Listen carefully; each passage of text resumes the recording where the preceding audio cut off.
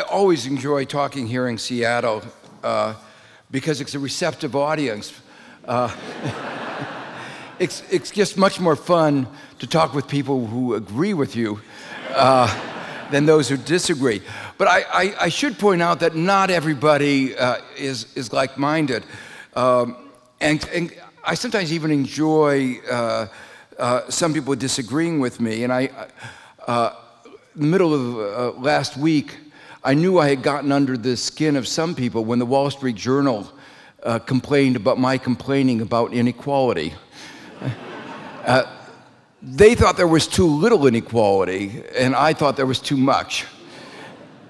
The, the, what I want to talk about today is, is my, my book, but it's really, uh, the book is about what I've been really passionate about for, for a long time about the problem uh, facing the United States, the great divide that has opened up. Uh, um, Dow explained some of the dimensions of it here in, uh, in, in King County, but you should understand that you're better than most other parts of the country.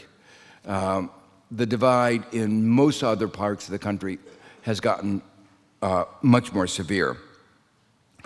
As he mentioned, uh, my interest was awakened uh, when I was growing up in Gary, Indiana. Uh, I don't know if you know about Gary, Indiana. It's an industrial town in the southern shore of Lake Michigan that really echoes, uh, traces out the history of industrialization and then deindustrialization in America. It was founded in 1906. It was a real company town. Uh, in fact, probably the most uh, company town in the, in the country. The name Gary, Indiana is named after the chairman of the board of U.S. Steel. uh, and it was the largest integrated uh, steel mill at, at, the time, and, and it's uh, since uh, gone into decline. But when I was there, what I saw was enormous amounts of inequality, extensive racial discrimination, and episodic unemployment. You know, my classmates' parents were out of jobs every three or four years as the economy went into a downturn. What I didn't realize was this was the golden age of capitalism. Uh, this was the best that it got. Uh, that, that's one of the themes I'm going to be, come back to. That uh, one of the ideas that, that our understandings of economics that's changed uh, a great deal was that back then, uh, Simon Kuznets, who was received a Nobel Prize, uh, is the father of our national income account system, the way we measure GDP, that, that measures everything, as Robert Kennedy said, except that's what's important. Uh, but uh, it was important for tracing out what was happening to, to the economy. And he, he enunciated uh, what was called a Kuznets law. He didn't call it Kuznets law, but other people call it a Kuznets law. And the idea was that in the early stages of development, inequality would grow as some parts of the economy took advantage of new technology, new opportunities. And we see that pattern, we saw that pattern in the United States, and we're seeing that pattern today in China. But then, as the parks that were lagging behind caught up, inequality would decline.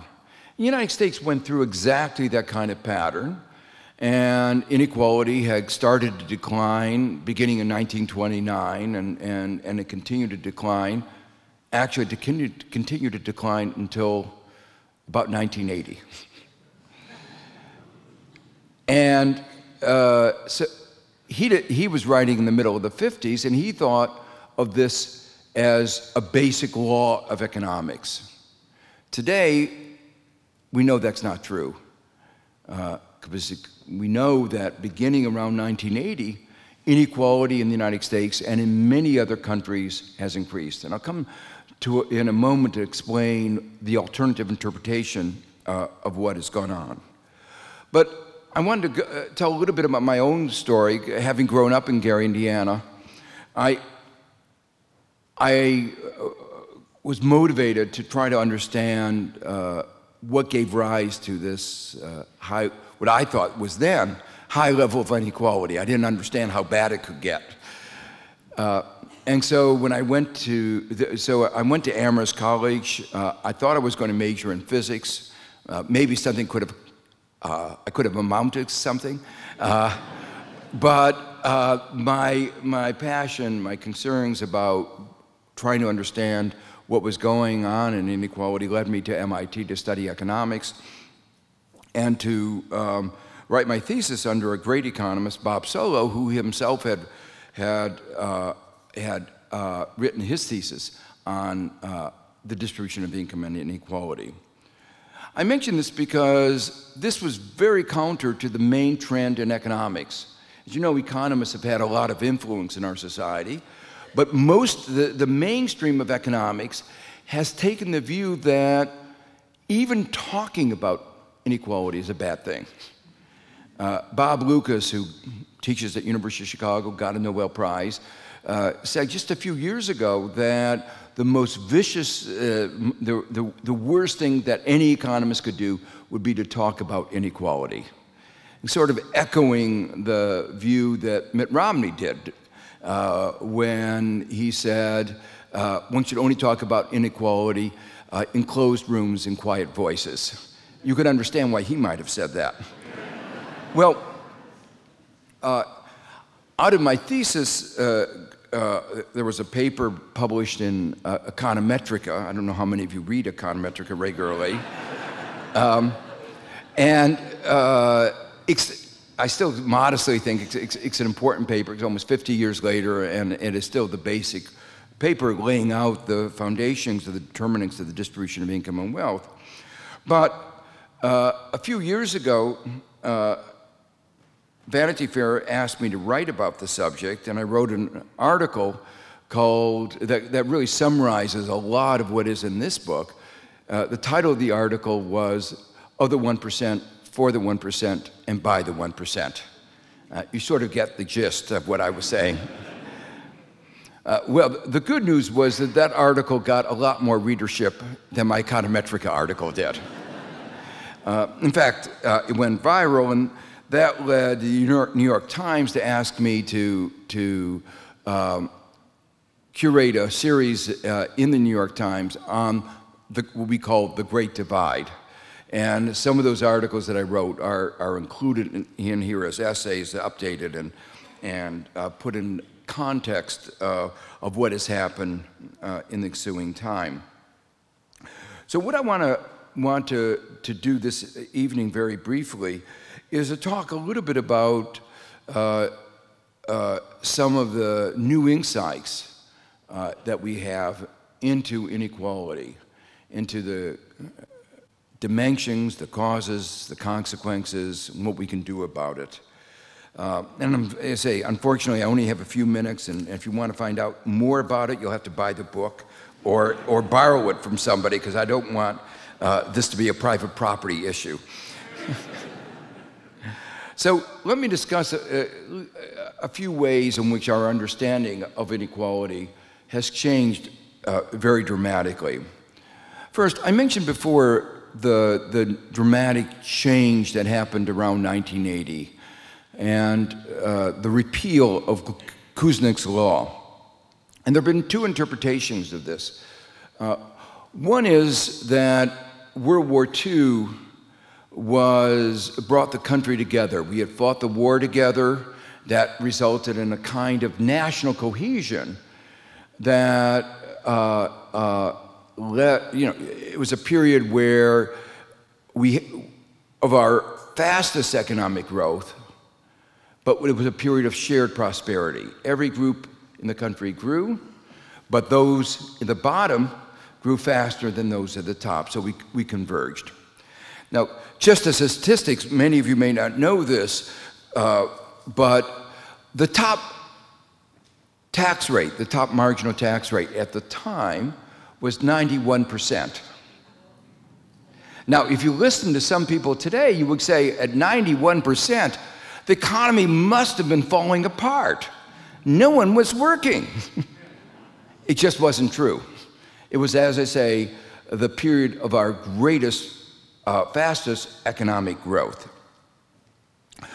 Well, uh, came the, the 70s, we went through a very difficult period in our country. There were uh, there was the oil price shocks, uh, uh, Vietnam War, and uh, it seemed for a while that our economic model wasn't working. And some people advocated trying another approach, and that was called supply side economics. Those of us who studied economics thought this was a bonkers idea. Uh, but you could understand the sort of the logic. The logic was you lower tax rates, and that would provide more incentives. They lowered it down to 35%, a lot lower than the, uh, actually below 35, almost down to 30%, a lot lower than the 91%. And you combine that with deregulation, taking away the constraints, and the two together would was supposed to, to lead to a burst of economic growth. And yes, they realized that there would be more inequality, uh, that um, doing this would, would uh, lead the people in the middle and the bottom to get a smaller share of the economic pie. But the argument was the pie would get so much bigger that everybody would benefit, uh, even those in the middle and the bottom. Well, we've now had a third of a century of this experiment. And we should be able to judge. And when we look at what's happened, part of the forecast was right. We did get more inequality. but that was the only part of the forecast that turned out uh, correct. We grew more slowly, so much more slowly that, in fact, in the middle, there has been essentially stagnation. Today, incomes are lower, adjusted for inflation, than they were 25 years ago, a quarter century ago. But this is an average of across different demographic groups. One demographic group that I have some empathy with is males. And the median income of a full time male worker is lower than it was 40 years ago. So there's four, four decades of stagnation. But at the bottom, things are even worse.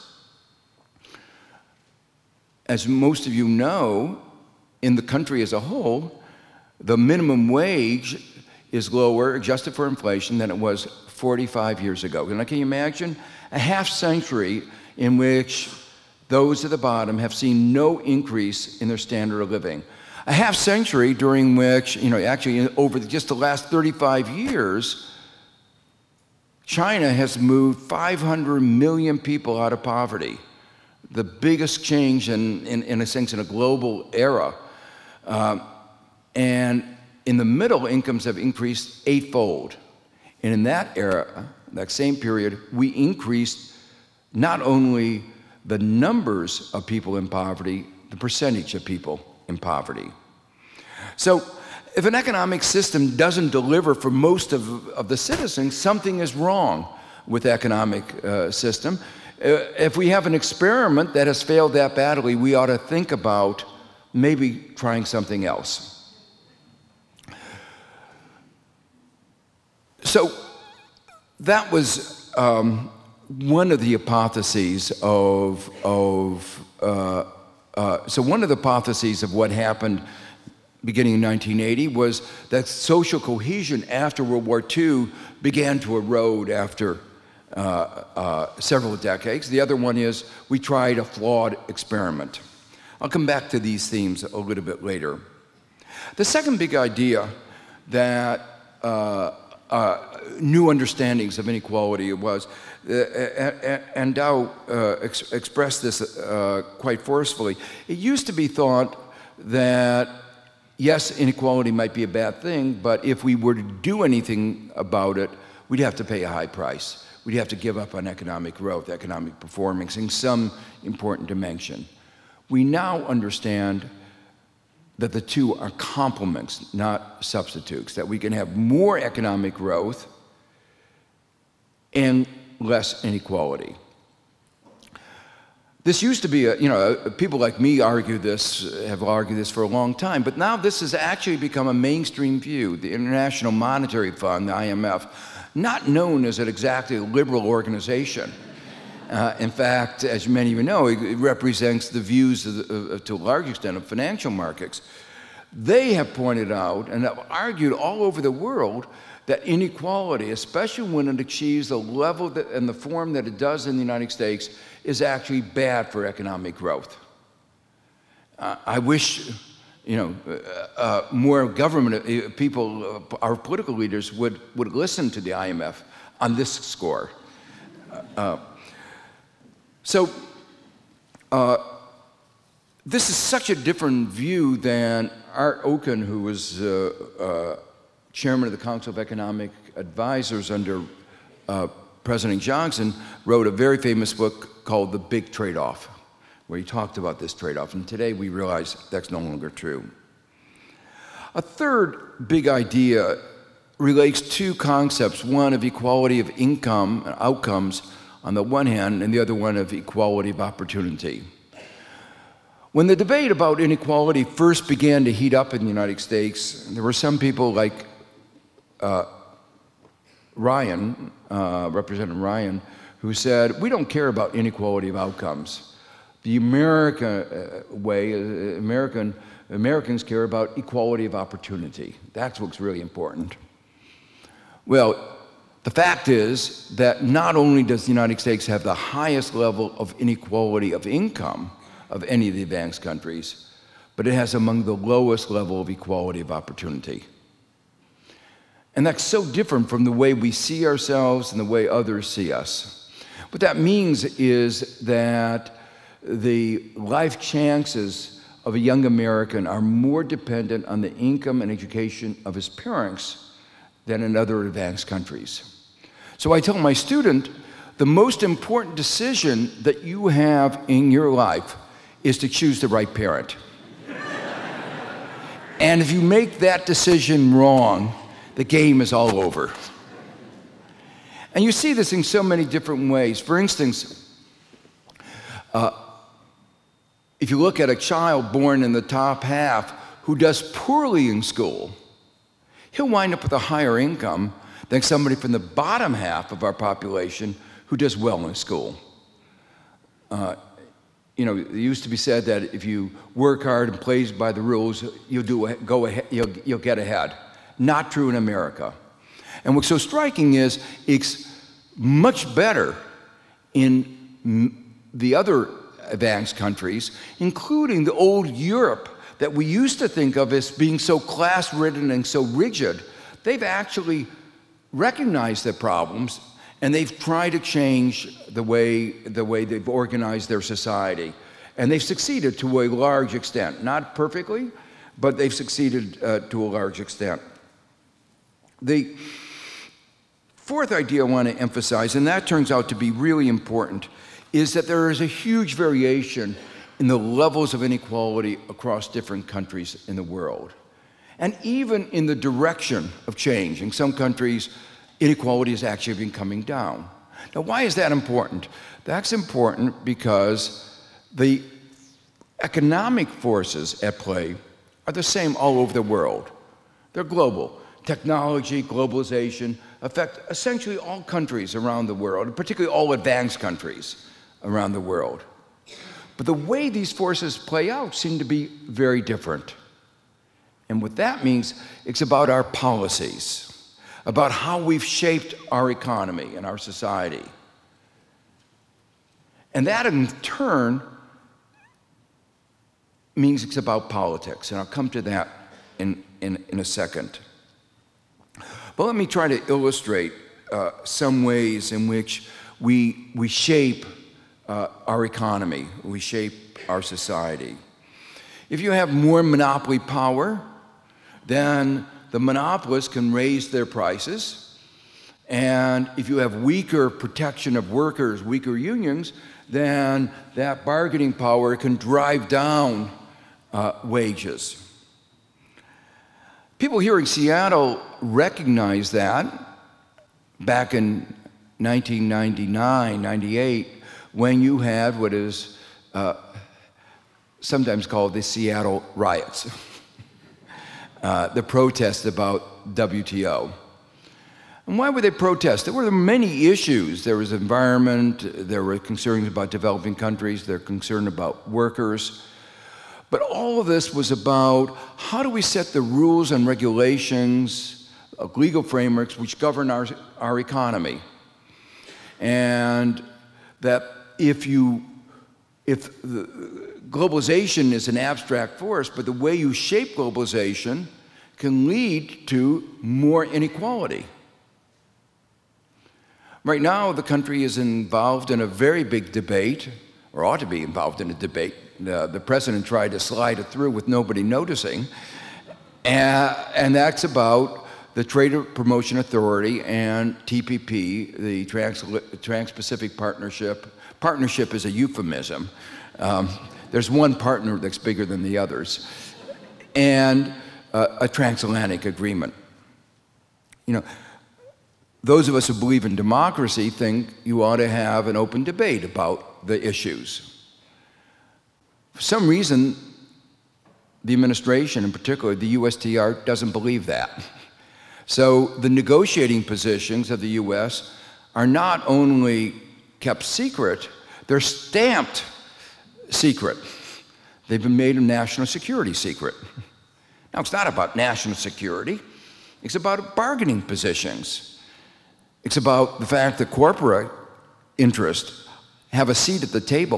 They get to see the U.S. bargaining position because they want to make sure that it is consistent with ways that will increase their profits. But NGOs, civil society, even congressmen have been having trouble getting a hold of it. Now, how, do you, how can I be so adamant about that it's a bad agreement? Well, the great news about America is that everything leaks. of course, the bad side of this is that NSA is listening to everything, including what I'm talking about now.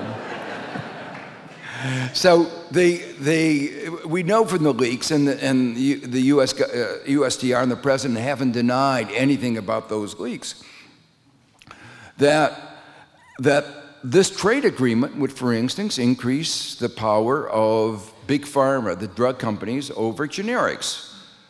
And the real irony of that is that Obama has made health care Obamacare the signature achievement of his administration. But these provisions in the trade agreement will drive drug prices up because it will weaken competition from generics. And Americans and people all over the rest of the world are going, uh, uh the Pacific are going to have to pay higher drug prices if this agreement goes through in the way that the, the US government is negotiating. Uh, the way our economy functions uh, has a lot to do, as I say, with the rules and regulations. Here in the, in the Northwest, people value the environment, and uh, uh, the agreement has provisions that would make it very difficult to regulate to protect the environment.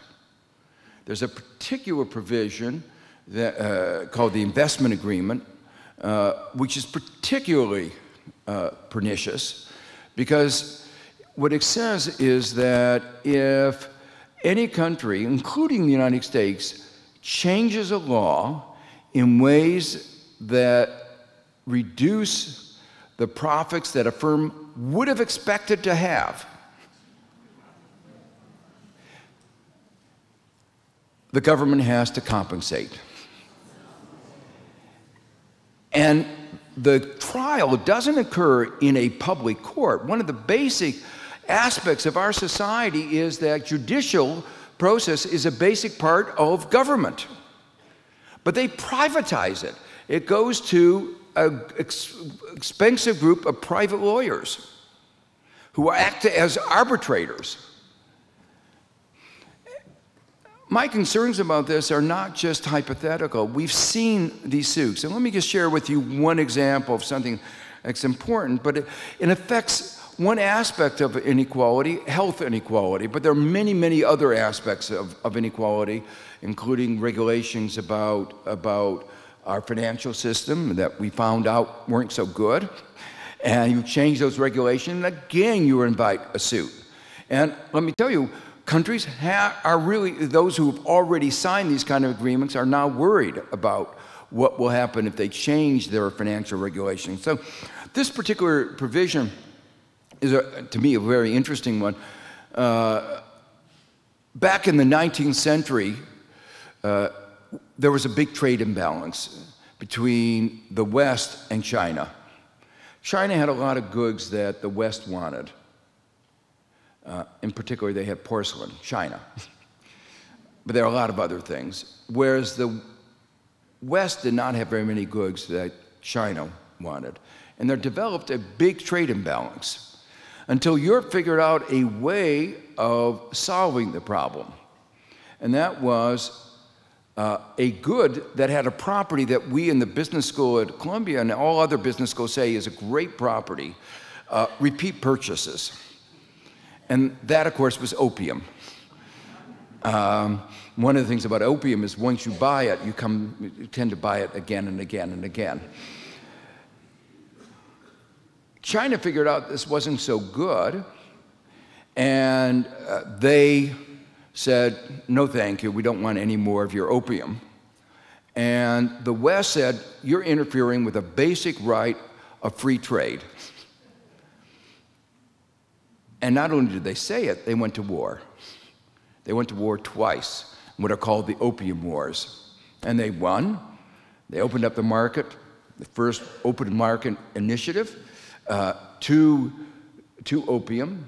And they also took away a lot of the concessions uh, on the east coast of, of China. Well, uh, you may not know this, but your government is waging the 21st century opium war. Uh, it's not opium this time, of course. It's a product that is addictive, made deliberately addictive. Again, good property for those who are interested in making money, repeat purchases, and uh, destroys health. And that, of course, is cigarettes. Uh, two countries, Uruguay and um, Uruguay and, and um, Australia, passed a law uh, regulating cigarettes. Not a very strong law, very similar to the United States, where you said you had to label uh, cigarettes as being hazardous to your health. They went a little one step further. They had pictures of lungs that were destroy, uh, destroyed by the cigarettes. Uh, the problem was that these labels actually worked. and many people were discouraged from uh, buying cigarettes. Philip Morris was not very happy. And they said, Well, you're destroying our profits the profits that we would have expected because we expected more people to buy our cigarettes until they died. Um, and under a provision essentially identical to the provision that the president is insisting on having in the trade agreements, Philip Morris is suing Uruguay and Philip Morris. And if they win, Uruguay and Australia will have to either stop the labeling or compensate Philip Morris for not for, for this regulation. And the legal costs are enormous. In the case of Uruguay, a poor, you know, South American country, it can't afford the legal costs. So fortunately, some well-off Americans like Bloomberg and Gates are paying for the cost of Uruguay defending itself. Now, can you imagine Can you imagine a situation where Americans have to pay to defend other countries against what our government has framed as, as a basic right of, of companies to be able to sell poisonous products? And this is just one example of many, many regulations that will be undermined the trade agreement that the President Obama is pushing um, and trying to get a blank check that can be used not only by the current president, but the next president, whoever that is in 2016. And we don't know what the Congress is. We don't know what the next president is going to be. We hope we know, uh, but, but we don't know. And he's asking for a blank check that will go on for years and years and years. Well, the point I want to make is laws and regulations shape our economy. And in shaping the economy, they shape the degree of inequality. And that's why the US has more inequality than other countries. Now, it's not a question about what we can afford. Some people say, you know, uh, we can't afford to do, to take the actions that would lead us to have more equality. I think that's absolutely wrong. Just go back to the period that I mentioned before, the period right after World War II. We were then a much poorer country. That was 70 years ago. And in 70 years, we've grown. But at the end of World War II, what did we say? We said that everybody who had fought in the war, which was every able bodied man and a lot of women, had the right to a free four year college education, to the best education that they could get into. They got into Harvard, if they got into a community college, whatever they could get into, our nation paid for it. Today, when President Obama proposed that we have two year community colleges for our poorest Americans, many conservatives said we can't afford it. Now, is it a question that we can't afford it? No, it's obviously not a question. It's a matter of choice. And this is one of the real themes that I try to bring out in the book. The inequality that we have is a result of the choices that we've made. When I say we've made, it, our political system. And that brings me to the next point. When you have the level of inequality, economic inequality that we have, it almost inevitably translates into political inequality. To the point where we now have a system that's better described as one dollar, one vote than one person, one vote. We have a kind of, and it, gets even worse because as they get uh, as, a, as, as the money influences our political system, just as it influences the rules of the economic game, it influences the rules of the political game. So it, we are the country where money talks the loudest in the political sphere. We are a country where corporate uh, Citizens United corporations can give unlimited amounts of money for campaign contributions. Where the last election, each candidate spent over a billion dollars. And this election is expected to cost a lot more. And when people, when, when corporations make what are called campaign contributions, these are not charity. They view these as investments. And when our banks made these investments, these investments were better than any of their financial investments. Those were a disaster. But their political investments really paid off, both in deregulation, in the bailouts, and then more recently in preventing the re regulation that our country needed. Well, I've talked a lot about inequality at the top, talked a little bit about the growth of inequality uh, at the bottom, the increase in poverty. But as the uh, introduction to my talk pointed out, the real problem, a, a, a real problem in the United States, is the evisceration of the middle. And he described how here in Seattle, which is one of the better performing places, all of the growth has been at the top and the bottom, but the middle class is shrinking. You know, that's reflected both in the fact that Incomes in the middle, adjusted for the inflation, are stagnant for a quarter century. But it's also in that a smaller and smaller fraction of the population is plus or minus 50% of that middle income. And more, more people are moving into the bottom and the top tails. After World War II, the United States was successful in creating the first middle class society and the country was being uh, brought increasingly together. But again, since 1980, and especially since the year 2000, the basic uh, attributes, what, what, what, defines a middle class lifestyle, are increasingly moved, being moved out of reach for a larger and larger number of Americans.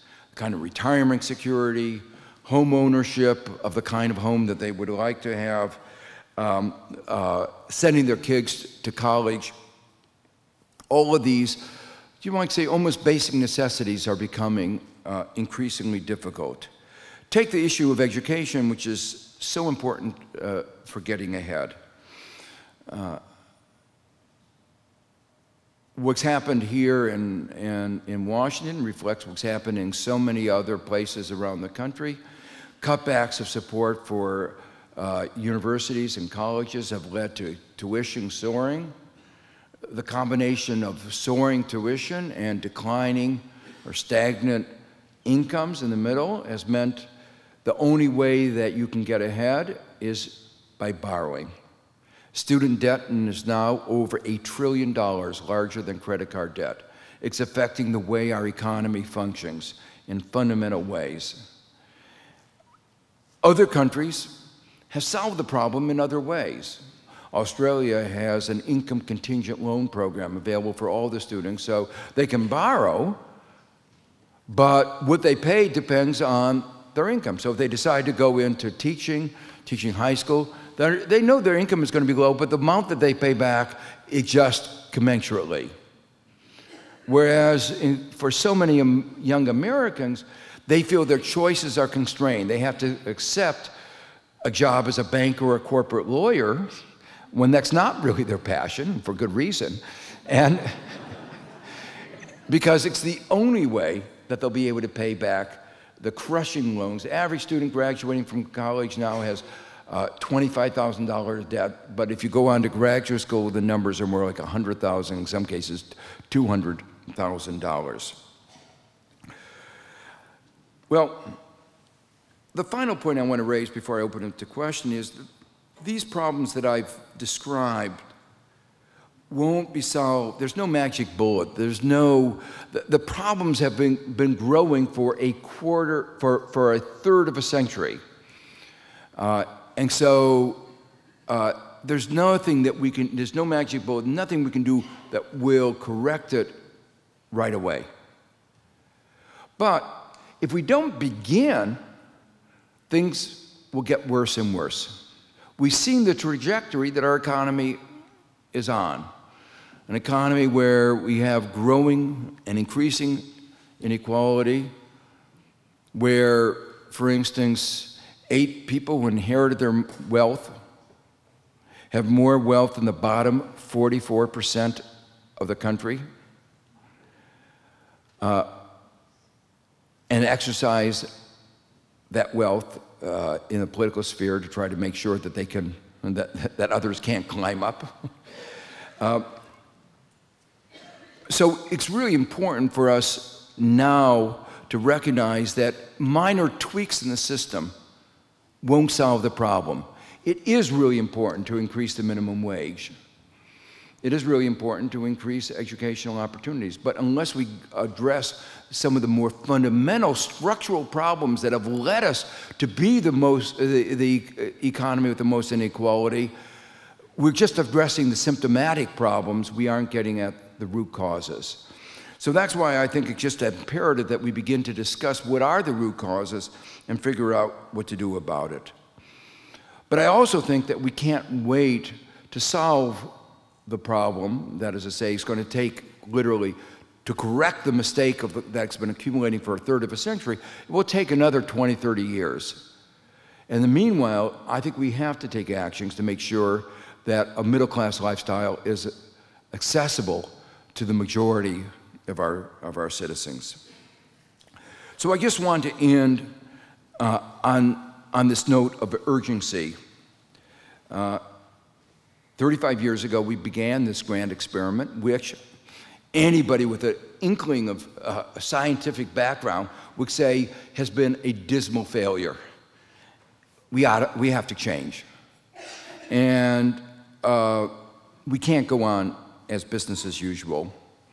I hope uh, discussions like this, town hall meetings all over the country, will, will be part of a process of bringing about that kind of change, um, that we will take this uh, course not of accepting business as usual, continuing the course we've been on for a third of a century, but really going into the different course that will enable us to restore the kind of society that we had, the kind of social cohesion that we had uh, in the decades after World War II.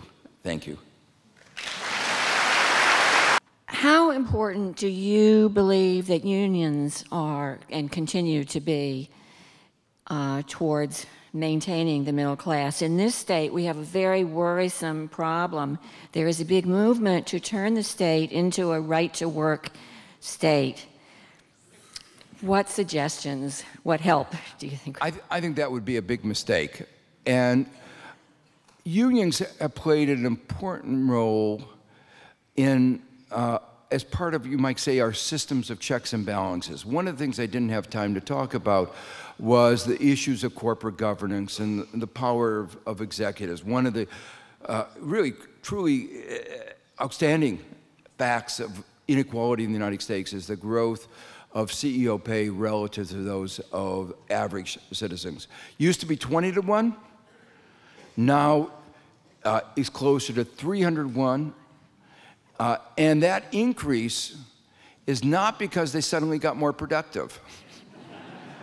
uh, this, the bank CEOs got huge bonuses, not because, and even after 2008, when they brought the banks and our country to the brink of ruin, they walked off with huge bonuses. So, what we have come to understand is that it's not just competitive forces in the way that you learned about that in your elementary textbooks that are driving the inequality in the United States, but it's, it's, you might say, a balance of power. And right now, we have an imbalance. And uh, really, the voice of workers is not being adequately heard. And it's not heard in, in lots of different forms. I mean, for instance, uh, one of the issues I, uh, is the Federal Reserve. Uh, monetary policy affects, supposed to affect output, inflation, and employment. Uh, that's supposed to be the mandate to look after all three of those. But there's nobody representing workers. A lot of people representing the banks and the financial sector.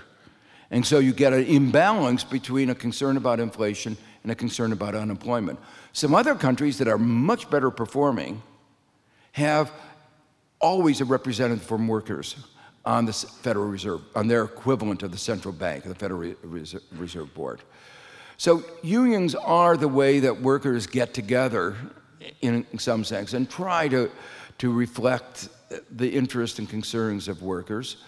Um, you know, there are imperfections in unions, just like there are imperfections in corporations. I mean, no, no human institution is perfect. So, you know, we, we know that there were lots of problems in the past. Unfortunately, the union's for, uh, strength has been diminished to the point where it's uh, about 10% of the labor force. Again, some people said that this is a, the natural evolution. It's not true. Other countries that have experienced just as much globalization, just as much technology, have a much greater voice of workers, and one of the reasons why they have more equality. So it's again, it's the way we shape our, our economy and our society. There was a book that came out over a year ago by Thomas Piketty. One of, one of the things he brought up was one of the things he brought up was that from the progressive era, era until about yes about 1980 that it, it, was our economic results were mostly an anomaly and that what we're doing is returning to what we maybe we naturally are we were in the 17th and 18th centuries. Yeah, so I, I, actually did talk about that in my book uh, very explicitly. Uh, a, a, couple of the essays were, in some sense, written in response to, to Piketty. The title of his book is Capital in the 21st Century.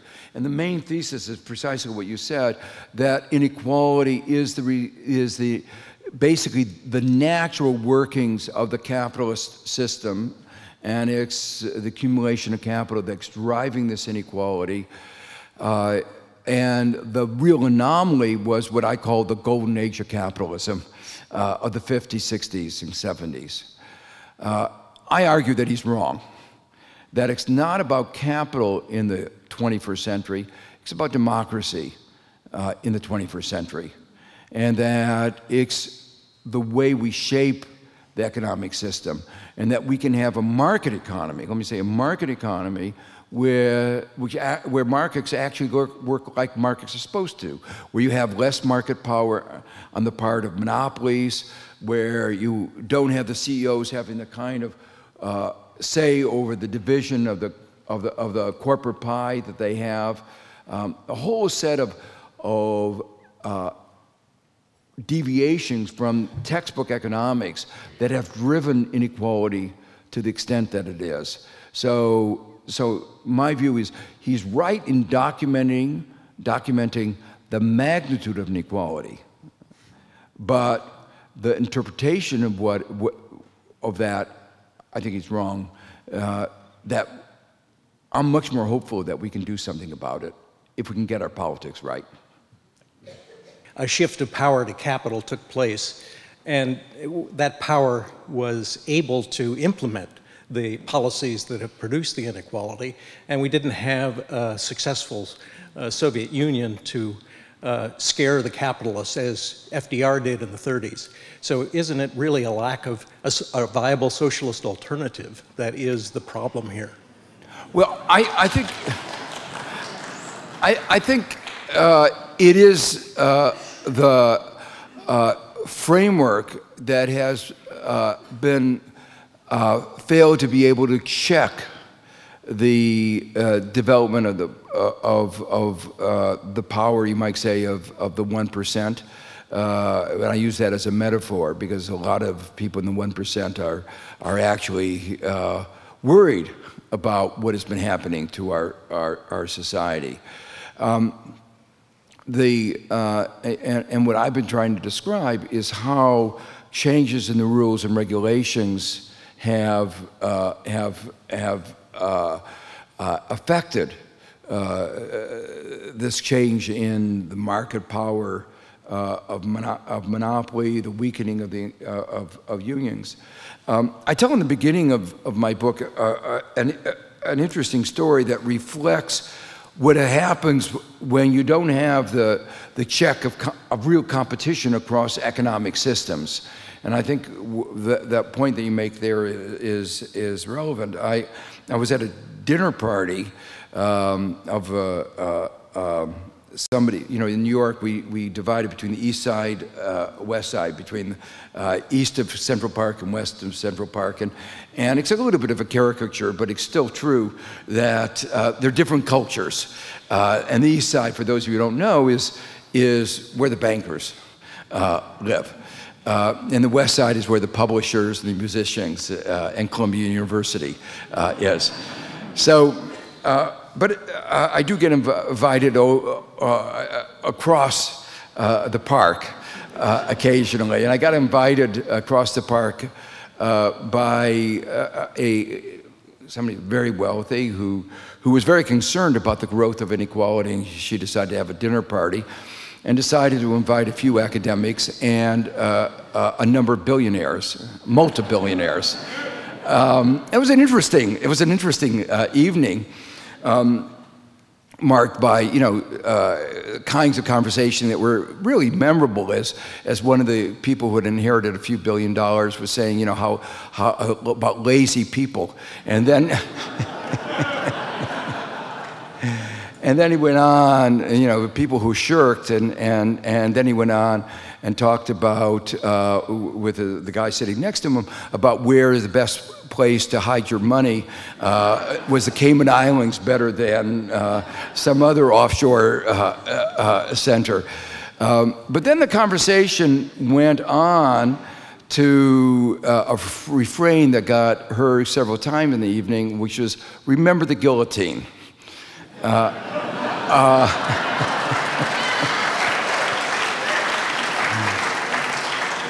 Uh, which was a refrain back, of course, for those of you who know, back to, to uh, uh, the French Revolution. And what was so interesting, it wasn't a sense of compassion that was motivating uh, the discussion, except for themselves, I think. Um, it wasn't a sense of what is a just society. It was, we have to remember not to be too greedy because we aren't very many. and, uh, uh, uh, and, and, and there are limits of how much uh, of the pie that we can take for ourselves. Um, and so, in a sense, that is part of one of the things, and I saw that in, in the context of development of the way we treated countries in Africa and elsewhere. When there was competition, we treated them a lot better uh, than when the era of competition uh, ended. And uh, I think there's an important lesson from that. We have time for one or two more questions. Well, thanks. Um, does the term fascism, defined by Mussolini as the marriage of corporation and state, resonate with you? You know, especially regarding uh, policies and Supreme Court decisions and uh, data driven police states? Okay. Well, fortunately, we're not down that far. uh, Are you sure? I better take last question. Hi, I'm Blythe. Um, we are so grateful that you've come here, and I represent a group of PhD students from the University of Washington studying pharmacoeconomics, and together we have a question for you. So we absolutely love your 1973 paper with Rothschild establishing the pooled and separated equilibrium for health insurance. And so what we wanted to know is how do you, just wait you guys, it's important. how do you predict, uh, what do you predict is going to be the effect of the Affordable Care Act, of Obamacare, in changing inequality based off of this equilibrium? Okay, well, uh, I think the affordable, you know, the, the distinguishing aspect of America is that it has been the only advanced country that has not recognized the right to access to health care as a basic human right. Uh, And uh, it shows up, the fact that we, we, we don't recognize it shows up in the statistics uh, that in terms of average life expectancy, we do much poor, more poorly than countries that spend a lot less money. Um, that we spend about 17% of GDP.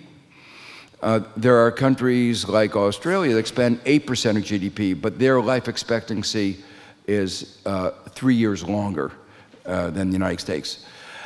But you look within the United States uh, at uh, the um, life expectancy of people who are at the bottom. Even something broad like those women who have not graduated from uh, high school. And it's 10 years shorter than those who uh, managed to graduate from college or, or from the rest of the average Americans. Um, I was, uh, I have to tell a little story. I was, uh, uh, Sarkozy, President Sarkozy uh, of France, visited Columbia in the midst of the Affordable Care Act debate, Obamacare uh, debate, and uh, a student asked him, what do you think of, of Obamacare, you know, of the bill? And he first hesitated and he says, uh, you know, I, I, I, don't want to comment on your domestic uh, uh, disputes. Remember, uh, Sarkozy is on the right in France. He just went, uh, so I went, and then he couldn't help himself. But he, said, he went on to say, I just don't understand you Americans. Uh, we view, we on the right in France view access to health care as a basic right. We can't imagine the way that you've approached health care. Now, I think uh, there are two aspects of, of Obamacare. Um, one of them was that it would extend access. It's been undermined by the fact that a large number of states, including the states that have been where the, the need is greatest, have turned down uh, Medicaid expansion. And so they've totally undermined, and the Supreme Court said that uh, undermined the, the, the, the mechanism that was put into the law to try to cajole states to providing uh, health care for their poor citizens. So that part you know, just was undermined by the Supreme Court, and so there won't be equal access in the southern uh, states in the United States. Um, the second thing was that it was intended to bring down cost. I think it will do that uh, to some extent, but in getting that agreement, Obama made some compromises uh, that allowed monopoly power to continue in the health insurance industry. It allowed monopoly power to continue in the pharmaceutical industry, and one of the reasons why Americans pay much higher uh, drug prices than others, anywhere else in the world. And as I said earlier, I am very uh, worried and am befuddled why Obama is trying to push a trade agreement which will lead to higher drug prices for Americans and for countries all over uh, other members of the trade, uh, trade agreement. Now, over the long run, uh, uh, what, what she was asking about is uh, my earlier work raised some real problems of, of what are called adverse selection, of problems that, that when you're an insurance company, uh, the best way of increasing your profits is to make sure that you don't insure people who are going to need the insurance. Um, and they spend a lot of money uh, to figure out how to do that, and they're very clever.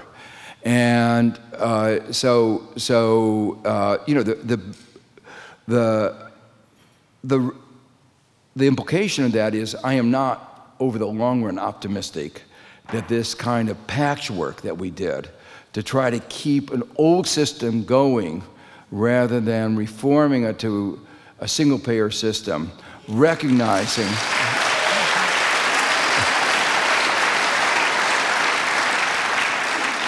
You know, recognizing that that system is broken. And uh, I mentioned before that, uh, you know, how much evidence do you need? The uh, experimenting supply side economics, 35 years old, uh, has been a failure. Our system of private health insurance has been going on longer, and uh, it's a more dismal failure. So I think uh, eventually we will have to force uh, to think about alternatives, and and uh, there are alternatives that are working so much better than ours. Thank you so much.